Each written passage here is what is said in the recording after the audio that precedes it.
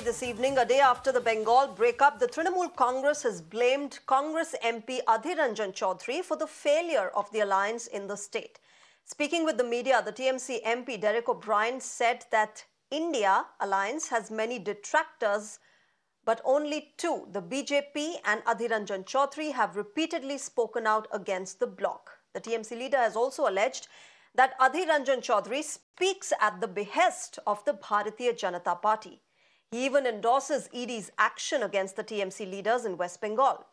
Remember, Mamata Banerjee had earlier said that her party would contest the Lok Sabha elections in the state alone as there has been no seat sharing talk between the Congress and the TMC. She also said that her proposals were turned down by the Congress party. However, the Congress has called her an integral part of the bloc. My colleague Adrija is joining us uh, with more on this. Uh, Adrija, a new day, a new statement uh, which reflects the cracks that are already there within the opposition India alliance.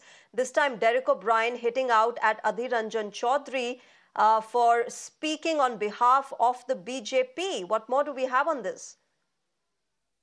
Well, absolutely. You see, uh, Derek O'Brien has uh, spoken out that Adhir Ranjan Chowdhury is the sole reason why the India alliance is not working out. And what has said that Adhir Ranjan Chowdhury is the uh, leader of Lok Sabha as well as the state president of the Congress unit in West Bengal. And therefore, it is uh, whatever statements he's making, it's very important because he, we have seen in the past, continuously attacking Mamta Banerjee, asking Abhishek Banerjee to be arrested and making uh, various other derogatory comments regarding the And therefore uh, what the TMC is saying now that enough is enough. The uh, when we have informed the national leader, the leaders in Delhi, they have not taken uh, enough action regarding this, and therefore you know Adhir Ranjan Chowdhury has become one of the sole reason why at least in West in the state of West Bengal the India alliance is not working out.